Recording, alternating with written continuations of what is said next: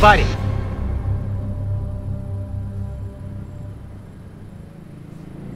Impare. Oh, meu, eu tô te assaltando e você brinca comigo? Que falta de respeito. Tá querendo levar chumbo, é? Com esse revólver de brinquedo? Quê? É uma legítima GKN 51B comprada com nota fiscal e CPF. Custou o leite das crianças. De brinquedo? Pois é, o assaltante foi assaltado. Te venderam uma AKN 37A. Uma imitação de brinquedo como se fosse a verdadeira.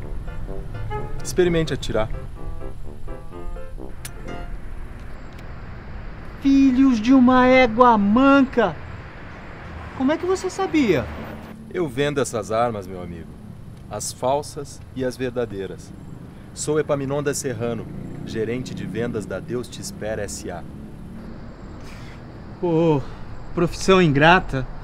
Três horas de condução, meia hora a pé. Arrisco ser roubado, gasto um dinheirão. Vou assaltar logo um especialista. Será que o senhor poderia me levar uns quarteirões adiante para eu assaltar outro? Não se aborreça, meu amigo. Essas coisas acontecem. Bom, como foi algum representante meu que te levou no bico, eu vou tentar substituir essa tua arma por uma verdadeira. Eu não quero que você nos difame entre os seus colegas assaltantes. Sabe como é que é, né? Nome sujo atrapalha os negócios, que já não vão lá muito bem. Topa? Aceito. Mas como é que eu faço para trocar? Eu te levo na fábrica, só fecha meia-noite. Mas antes eu preciso passar em casa porque a minha esposa está me esperando pro jantar. E você é meu convidado. Entra aí.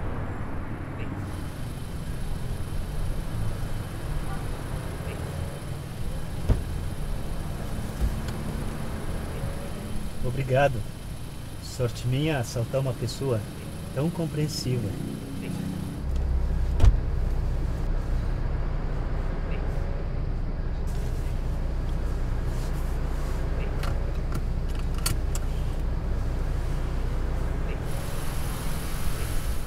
Então Manuel disse para Maria: Tenho canivete de não ter gilete. ah, mas me diz uma coisa. Você já sabe meu nome e que eu sou gerente de vendas. E você? O que, que você faz além de assaltar? Sou professor. De dia dou 12 horas de aula, seis dias por semana. À noite assalto para completar o ordenado.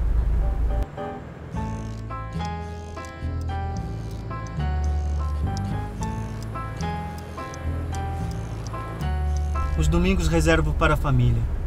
Tenho mulher e quatro filhos. Pelo padre, teria uns dez. Diz que é pecado evitar. Se não largasse a igreja, estava na pior. Nem assaltando honestamente iria conseguir alimentar a todos. Agora 20 horas e 3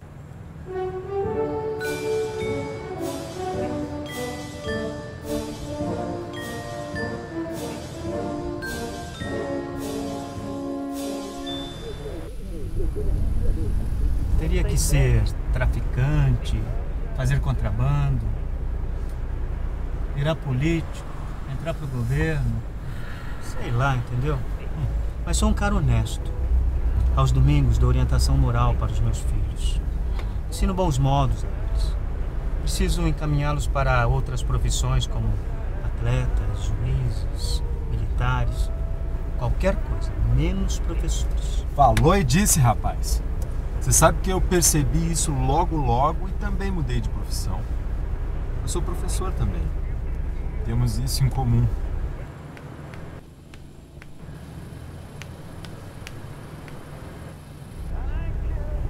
Como é que é teu nome?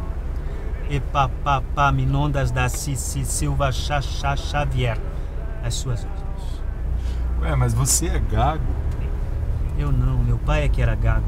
E o escrivão, filho da puta. Bom, então temos o um nome em comum também, né? Ainda bem que meu pai não era gago.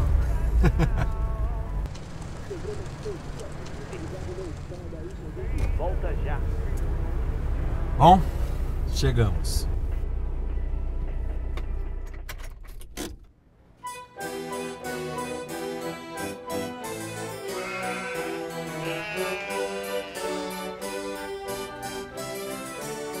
Adam o meu novo amigo Ixará é professor como eu. Só que foi fiel à profissão. Coitado.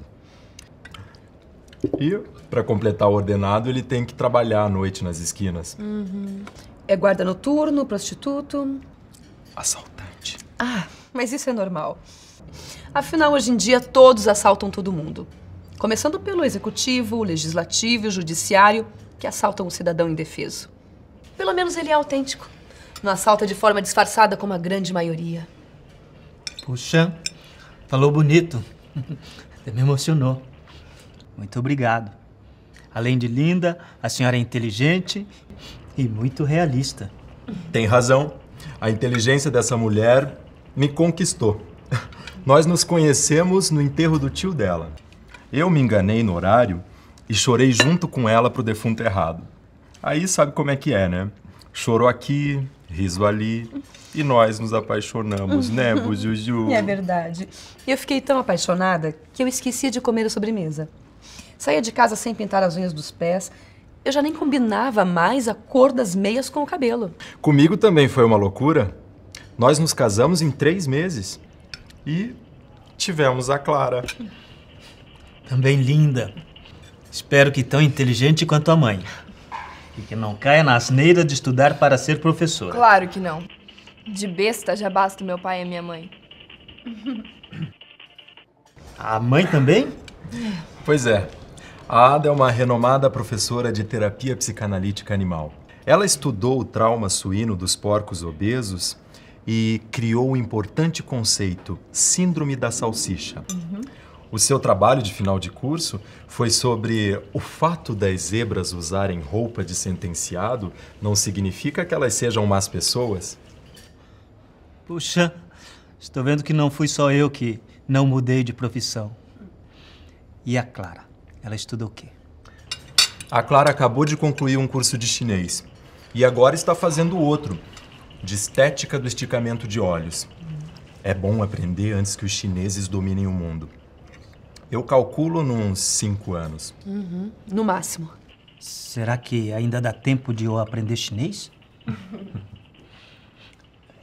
Enquanto isso, eu poderia trabalhar lá na sua fábrica, não? Pode até ser. Vai depender do diretor de produção que eu vou te apresentar. Você poderia ser o nosso representante junto aos assaltantes. Perfeito. E aí o Manuel disse pra Maria: Tem um canivete de não ter gilete? Ah, essa é ótimo. Com licença. Ai, eu adoro quando ele conta essa. É, já né? Ele conta já umas três vezes por dia. Simbora?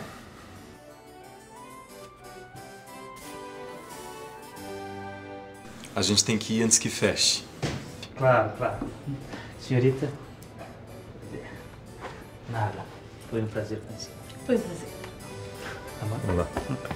Tchau. Tchau. Você vai perceber que todo mundo tá tudo bom, tudo bom, tudo bom. Conhece algum deles? Todo mundo aqui cuida de tudo. Você vai perceber que tá tudo à sua disposição.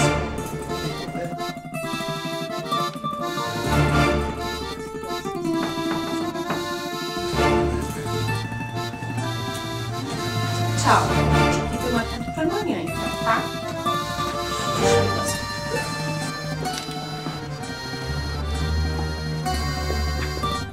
Senhor Hans, eu lhe apresento o meu novo amigo, xará e professor como eu, o Epapapaminondas da Cici Silva Chacha Xavier. Não, ele não é gago. O pai é que era. E o escrivão foi lá e mandou brasa. Oh, já ver muito sacanagem, mas igual esse nunca ver. Que traz vocês aqui?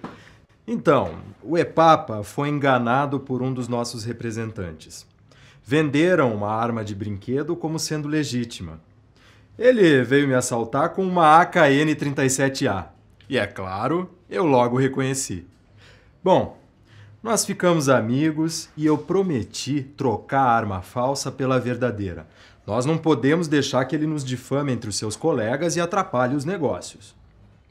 Assaltante, agora está reconhecendo. E papai me assaltou semana passada com GKN e levou meu carteira cheia e documentos. É, salafrário, você. A arma era essa? É uma AKN de imitação, Sr. Hans, e não uma GKN verdadeira. Não acredito. Será que fui assaltado com arma falsa que fabrico e confundi com arma verdadeira que fabrico também? Juro que era GKN, deixa ver. Mas burro, como foi confundir? Se a turma no clube sabe, vai ter gozação, vou ter que pagar rodada de chope com chucruta. E, e na Alemanha falam que alemão nunca comete erros. É? Tá, né? Tá bom. Vamos ter que trocar uma falsa por verdadeira, né? Pagou por ela, né? Mas não me conformo. Perder documentos, é, e carteira, dinheiro, tá? Não conformo. Desculpe, senhor. Os documentos eu posso devolver. E uns 10% do dinheiro. O resto eu gastei com as crianças. Fica como empréstimo. Sou assaltante honesto. Assim que os negócios melhorarem, eu venho aqui e devolvo. Eu prometo. Vai lá, né? Tiro do meu caixa 2. Mas vê se fala bem dos nossos armas, hein? E traz de volta minhas documentas, tá? Ah. Eis aqui. GKN legítima, verdadeiro joia. Estabilizador giroscópico, liga de aço tungstênio, silenciador padrão. E já vem com munição extra, gentileza do nosso fábrica, hein?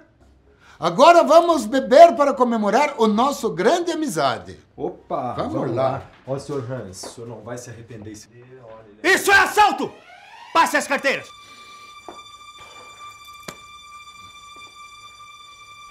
Virado para a parede, quietinho, olhos fechados, nem pensar em olhar para trás, porque essa é a verdadeira. E tem tungstênio.